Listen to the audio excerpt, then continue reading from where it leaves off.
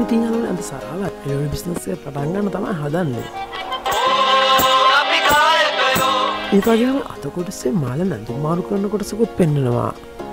මේ යන විදිහට ළඟතිව මාලන්ගේ ඇත්තතත්ව හැමෝ දැනගනී වගේ. ඉතින් වෙනද වගේම කලා ඇතන වැඩටික හොඳට කරගෙන යනවා.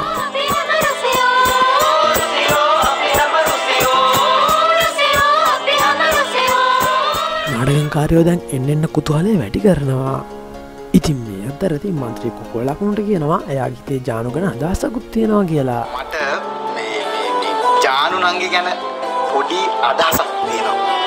ජානුකින්